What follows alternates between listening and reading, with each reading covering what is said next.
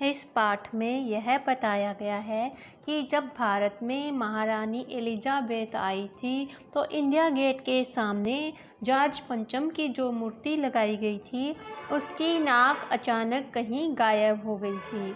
इसी बात के लिए उच्च स्तर पर सलाह मशवरे के लिए एक टीम का गठन किया गया था। जब महारानी अपने पति के साथ हिंदुस्तान पधारने वाली थी तो सारे देश में इसकी खबरें फैल गई थी। सारे पत्रकार जो है, इसी पर लिखने में लगे हुए थे।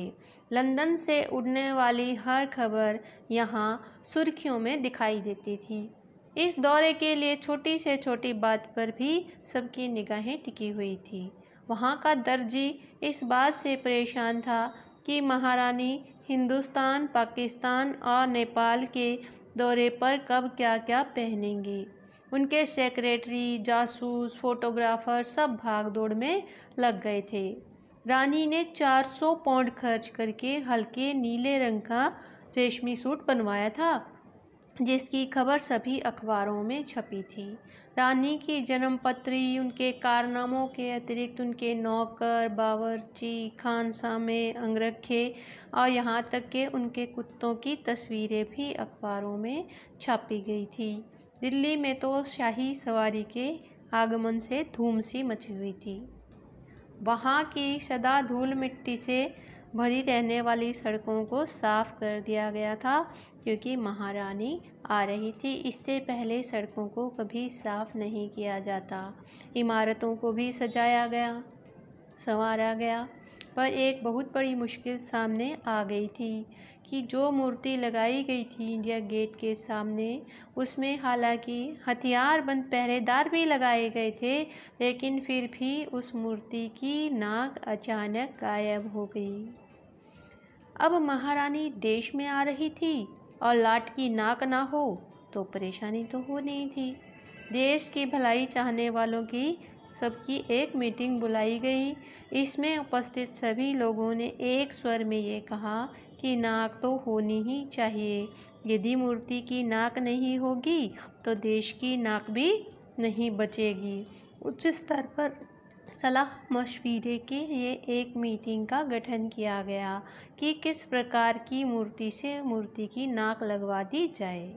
मूर्तिकार ने कहा, नाक तो लग जाएगी पर उस पता होना चाहिए कि मूर्ति कहाँ बनी थी, कब बनी थी और इसके लिए कौन से पत्थर का प्रयोग किया गया था। पुरातत्व विभाग ने जानकारी मांगी, पर इसके बारे में कुछ भी पता नहीं चला। मूर्तिकार ने सुझाव दिया कि वह देश के हर पहाड़ पर जाएगा, वैसा ही पत्थर ढूंढ कर लाएगा और मूर्ति में नाक लगा देगा। हुकामों से आज्ञा मिल गई। मूर्तिकार हिंदुस्तान के सभी पहाड़ी प्रदेशों और पत्थरों के खानों की दौरे पर निकल गया। कुछ दिनों बाद खाली हाथ लौट आया। उसे वैसा पत्थर प्राप्त नहीं हुआ। उसने कह दिया कि यह विदेशी पत्थर था। मूर्तिकार ने एक सुझाव दिया कि देश में नेताओं की अनेक मूर्तियाँ लगी थी। यदि उनमें से किसी एक की नाक लाट की मूर्ति पर लगा दी जाए तो यह ठीक रहेगा। सभापति ने सभा में उपस्थित सबकी सहमति से ऐसा करने की आज्ञा दे दी। लेकिन यह कहा गया कि यह खबर अखबारों तक ना जाए। मूर्तिकार ने फिर देश भर का दौरा किया और जॉर्ज पंचम की खोई हुई नाक का नाप उसके पास था। उसने दादा भाई नौरोजी, गोखले, तिलक, शिवाजी, जहांगीर गांधी जी सरदार पटेल, महादेव देसाई गुरुदेव रविंद्रनाथ ठाकुर, सुभाष चंद्र बोस, राजा राम मोहन राय, चंद्रशेखर आज़ाद, बिस्मिल, मोतीलाल नेहरू, मदन मोहन मालवीय, सत्यमूर्ति लाला लाजपत राय, भगत सिंह आदि सब की मूर्तियों को भले भांति देखा। सभी की नाक का माप लिया, लेकिन किसी की नाक जॉर्ज पंचम से बड़ी थी। वे इस पर फिट नहीं बैठती थी। इस बात से सभी में खलबली मच गई। अगर जॉर्ज पंचम की नाक ना लग पाई तो रानी के स्वागत का कोई मतलब ही नहीं था। मूर्तिकार ने सुझाव दिया कि किसी को पता नहीं लगना चाहिए था। ज़िंदा देश की किसी भी इंसान की मूर्ति पर नाक लगा दी जाए, यह सुनकर सभापति परेशान हुआ, लेकिन मूर्तिकार को इसकी इजाज़त दे दी।